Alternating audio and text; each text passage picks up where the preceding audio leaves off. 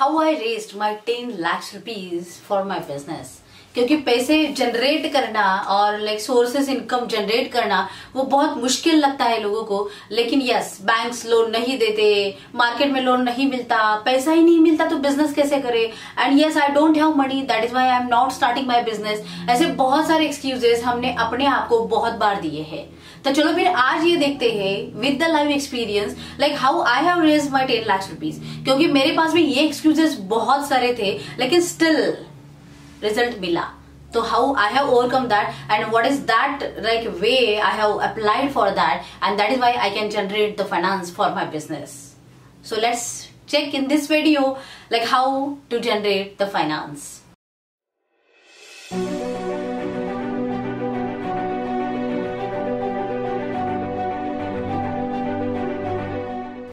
Hi दोस्तों I am KD Sushma I am author trainer exporter and business coach and yes we are on a mission to create ten thousand exporters by two thousand twenty five और लेस गर्व की बात है कि इतने सारे एक्सपोर्टर्स हमने अभी तक क्रिएट किए हैं. And yes they are enjoying their journey from the scratch to the exporter अभी अगर मैं कहूँ कि लेटेस्ट की बात है like this is like season है एग्रीकल्चर और बहुत सारे क्रॉप्स का तो हमारे एक स्टूडेंट की लास्ट हफ़्ते एक शिपमेंट गई मैनचेस्टर यूके को मैंगो एक्सपोर्ट किया उन्होंने।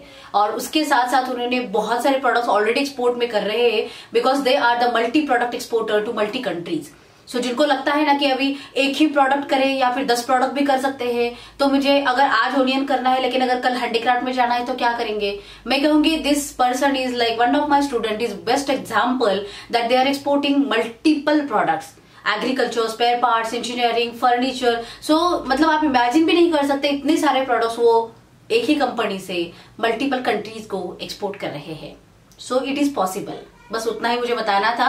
It is possible that you can start your export journey and yes regarding the finances अगर आप अपने आप को एक्सक्यूज दे रहे हो ये सारी बातें ठीक है मोटिवेशन है बहुत अच्छा लगता है तू कैसे बिज़नेस चालू करूँ? तो इसके लिए अगर मैं कहूँ लाइक like, जब भी मैंने मेरा जर्नी चालू किया था you can believe on that yes I have started my journey with the seventy thousand rupees investment only and yes the product is drumstick तो मैंने मोरिंगा से चालू किया था 500 हंड्रेड केजी का ड्रमस्टिक मैंने एक्सपोर्ट किया था। तो सत्तर हज़ार से भी धंधा चालू हो सकता है। Why you are worrying about that मेरे कुछ स्टूडेंट्स हैं जिन्होंने चालीस हज़ार से भी धंधा चालू किया है और वो भी एक्सपोर्ट का। सो यस यू कैन और अगर आप मुझे कहोगे कि मेरे पास चालीस हज़ार भी नहीं है तो मैं कहूँगी okay no issues in that just earn that and then start the business why you are giving the excuses क्योंकि ऐसे बैठ के तो पैसे नहीं आने वाले कहा से भी। तो आपको काम करना पड़ेगा उसके लिए ओके सो सत्तर हज़ार से जो चालू किया, दिन ब दिन ऐसा होता है ना कि लाइक फिर उनको माल मिला, फिर से एक ऑर्डर आया, फिर से दूसरा ऑर्डर आया, फिर से डिमांड बढ़ता गया और फिर उन्होंने कहा कि अरे, ठीक है, अभी मतलब वेजिटेबल्स तो हमने चालू किया मिक्स शिपमेंट्स हमारे बहुत गए एयर शिपमेंट से।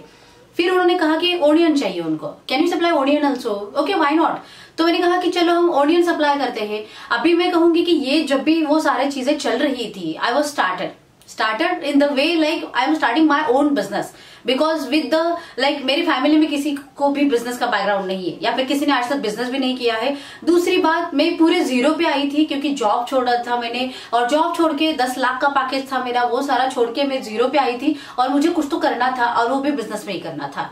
और शायद आपको पता है कि ऐसे केस में बहुत सारे लोग आपको डिमोटिवेट करते हैं, या फिर आपको पागल बोलते हैं कि आप क्या कर रहे हो।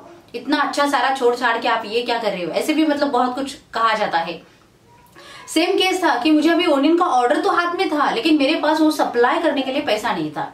और उस टाइम पे, जो दो साल पहले वाली बात है ये तो उस टाइम पे ओनियन को मुझे एक कंटेनर एक्सपोर्ट करने के लिए पाँच लाख रुपीज़ की मतलब रिक्वायरमेंट थी। और उसके बाद मुझे कंटिन्यूस ऑर्डर भी मिलने वाले थे।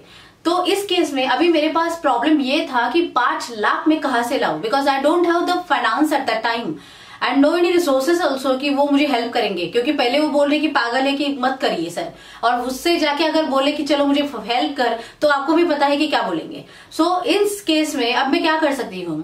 तो चलो फिर मैंने ये सब चेक किया कि मार्केट में कौन दे सकता है पैसा कैसे क्रिएट किया जा सकता है। I will learn that thing in the practical on the ground कि कैसे क्रिएट हो सकता है। ना कि मतलब यहाँ पे बैठ के सिर्फ़ सोचते सोचते सोचते और फिर मन में ही करो कि चलो नहीं हो सकता।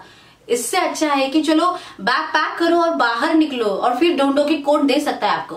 फिर मैंने इतने सारे बैंक्स के पास गई, इतने सारे मतलब ऑप्शन चेक किए और फिर जाके ऐसे हुआ कि लाइक बहुत सारे लोगों को मैंने प्रोजेक्ट रिपोर्ट सबमिट किया मेरा कि मेरा धंधा क्या है प्रोजेक्शंस क्या है, मैं क्या करना चाहती हूँ और कैसे करना चाहती हूँ। ऐसे मतलब सब कुछ करने के बाद yes finally I am succeeded for getting the CC cash credit limit of ten lakhs rupees but without any collateral without any mortgage without any security and that is possible और इसीलिए तो मैंने कहा, क्योंकि मैंने हमेशा यही सोचा है कि बी पॉजिटिव मुझे करना है ना तो मुझे करना है। बस मुझे एक्चुअली मैं तो कहूँगी कि मेरा फंडा वही है।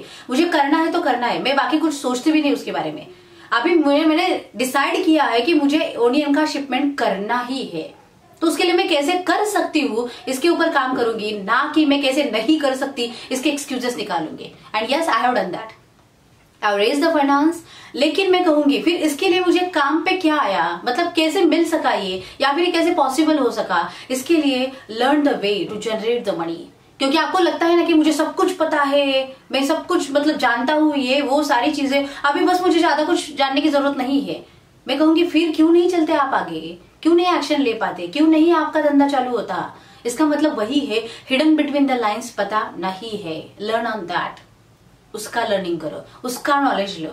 Yes learn how to raise the finance और अगर आप ये करोगे definitely you can win the game so और based on that practical experience like मैंने ज़ीरो से वो दस लाख तक मेरा जर्नी कैसे किया और वो कैसे रेज किया? Yes for your information for your help like आपको भी वो अगर पता चले तो शायद आप भी आगे जा सकते हो। I have develop one course how to raise finance धंधा कौन सा भी करो, लेकिन पैसा तो सबको क्रिएट करना पड़ता है। तो ये मेथड्स आपको सबके लिए काम आएँगे। Whether it is domestic whether it is international और whether it is like any product any sector और services so you can learn this tracks learn the strategies and yes you can raise the money क्योंकि उसके लिए क्या preparation करना पड़ता है? आप रेडी हो क्या? बैंक कब आपको लाइक like, अप्रोच मतलब आप जब भी आप आपको अप्रोच करोगे वो कब आपको एंटरटेन करेगी? कब आपका प्रपोजल जो भी है वो कंसिडर किया जाएगा?